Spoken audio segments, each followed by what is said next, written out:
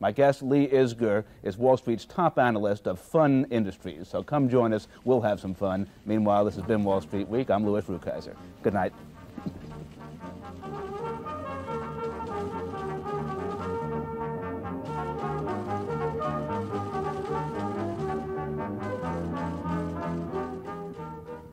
If you would like to obtain a written transcript of tonight's program, send $1 to Transcripts, Wall Street Week, Owings Mills, Maryland, 21117. That's $1 to Transcripts, Wall Street Week, Owings Mills, Maryland, 21117.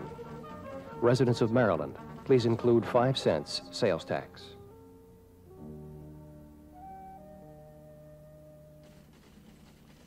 Wall Street Week was produced by the Maryland Center for Public Broadcasting, which is solely responsible for its contents, and was funded by this and other public television stations.